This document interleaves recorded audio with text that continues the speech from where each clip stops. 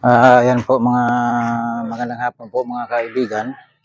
Ay ngayong hapon po ay lakat po to, lakat po. Magpipintura po ako ng sidecar. Ayan po. Ano mo ng papel yaman?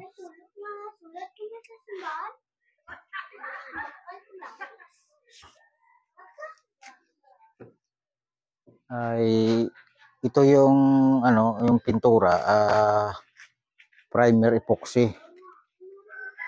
Ah, Paradox branch. Ito po yung pangpundo ko po. Ah, tapos yung gagamitin ko diyan ng mga ano, ah, blue at saka yung itim. Itim na pintura. Ah, ang itim, ah, minudo lang yung binili ko dahil ah, kunti naman yung gagamitin ko. Ah, nandito na po yung sa plastic ito. Tapos ah, urethane branch. Yan. Ah, mga kaibigan, ah, kung sino po eh, hindi pa po ah, alam po mag ano ng pintura po nito, pang sasakyan o kahit na anong sasakyan, ah, ganito po yung gagamitin nyo. Primary epoxy po. Ito po. Yan. Primary epoxy. Yan. Ah, bago nyo po ilagay to, kailangan po ay ah, kung wala walang pintura yung ah, pipinturahan nyo na ilagay nyo nito, kailangan po ay linisan nyo muna yung steel bago nyo po ipintura. Kasi po pag marami, maraming ano, mga alikabok na nakadikit sa may steel, ah, hindi yan tatagal, tatanggal yan. Yan. Ah, ganito po yung mag ano, magunang proseso po ng magpintura ka po ng sasakyan o kahit ano, basta steel. Yan. Ah, gamitin niyo po ah, primer epoxy. Primer epoxy po. Ito gray ang kulay, gray. Yan.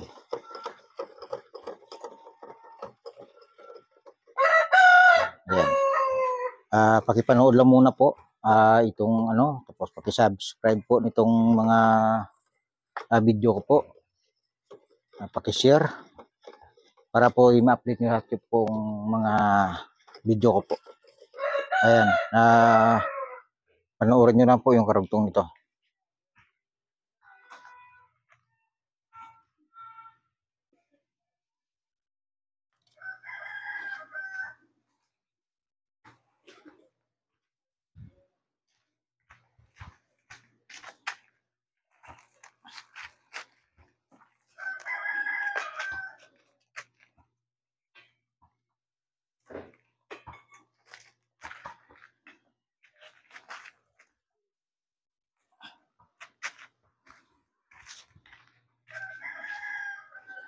Ayan, ito mga kaibigan.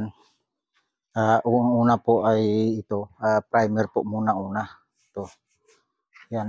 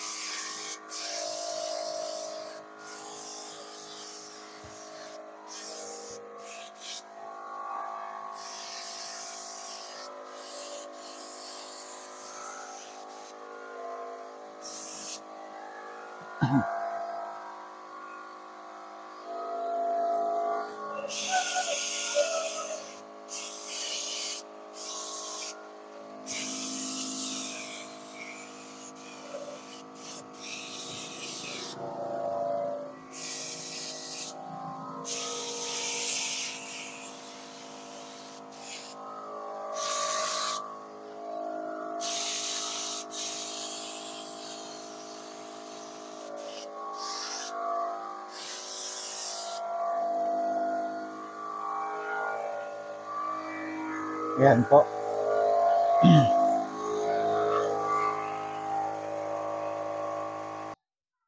Yan. Ah, ito pa pala po yung ah, hub nitong side wheel niya. Ito diyan. Kaya pinturahan na lang dahil ito may mga kalawang na rin. Pero ah, ano ko na to, pinadaanan ko to ng kapras.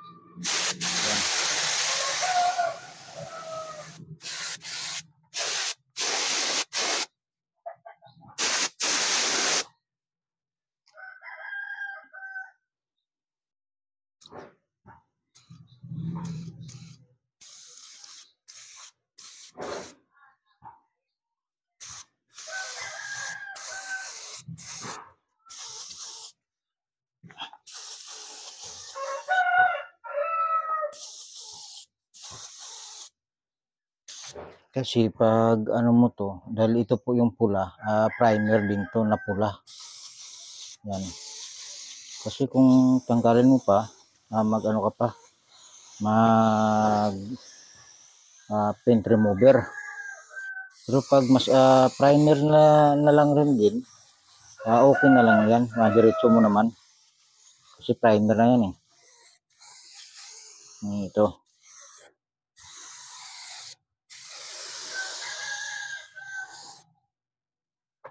Na ito mga kaibigan sa hindi pa pala ah, alam mag ano nito ganito lang mga kaibigan kasimple. Yan ganito lang po. Kahit na ano sarili nyong mga gamit pwede na rin kayo. Kasi itong ginagamit ko ngayon ay na compressor to mga kaibigan. Compressor to na spray. Yan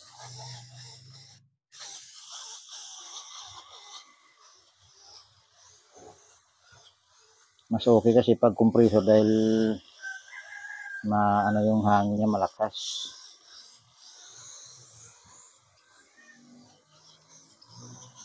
Dito pala to mga kaibigan sa Negros Occidental. Dito lang sa ano sa ah, sa shop ni Richard. Yan. Richard shop dito sa kaso lang bundok to mga kaibigan eh. Pero okay na rin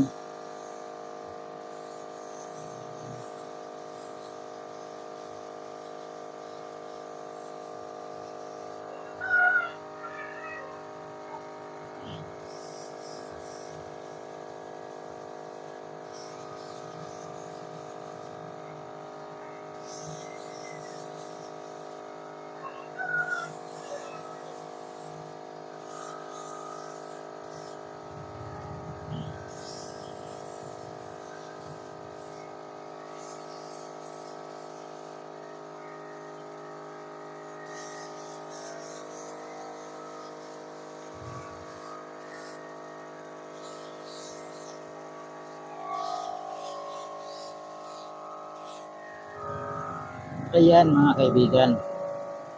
Ah, paki-subscribe na lang po ito mga gawa ko mga kaibigan, mga ano ko po. Ah, kay Tolentino Richard Vlog. Yan. Ganito lang po.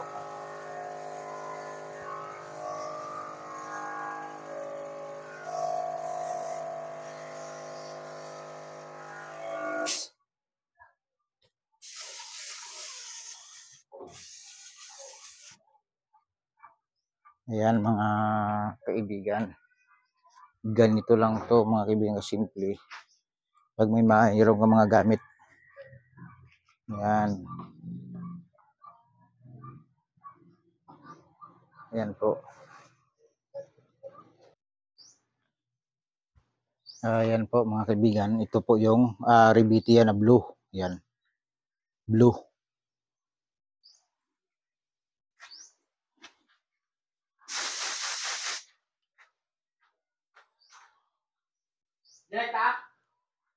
Caralho.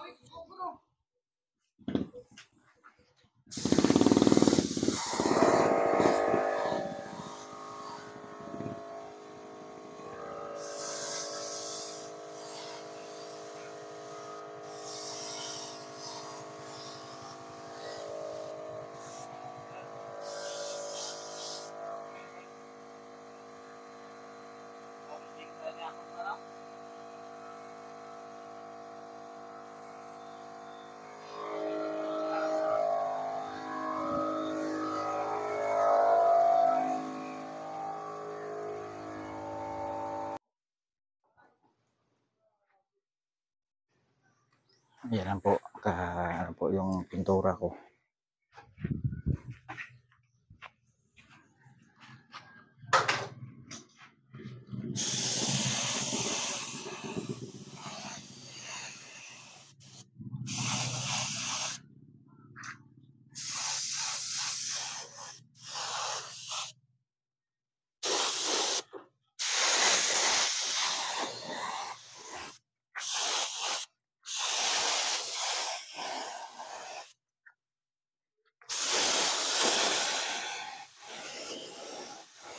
Ayan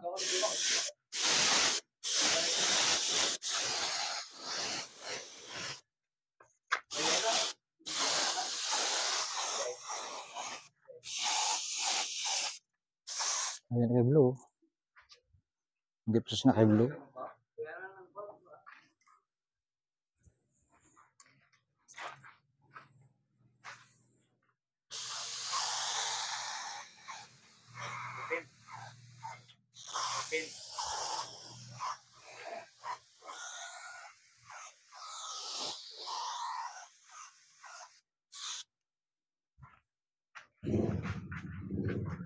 Ei.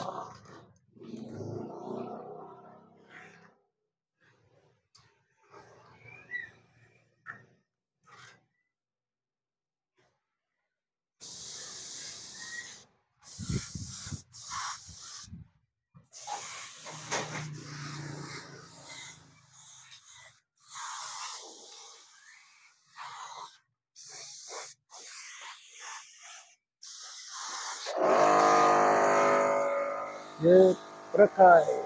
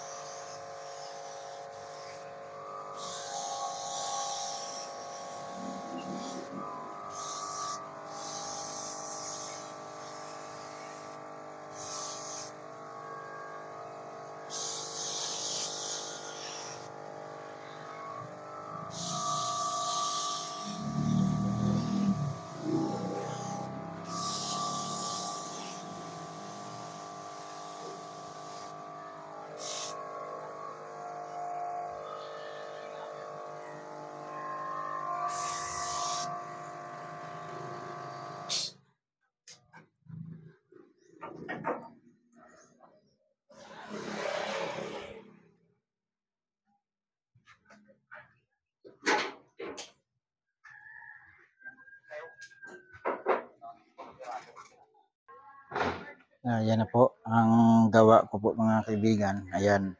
Ah, ito po, ah, rebite lang muna. Ayan. Ayan po.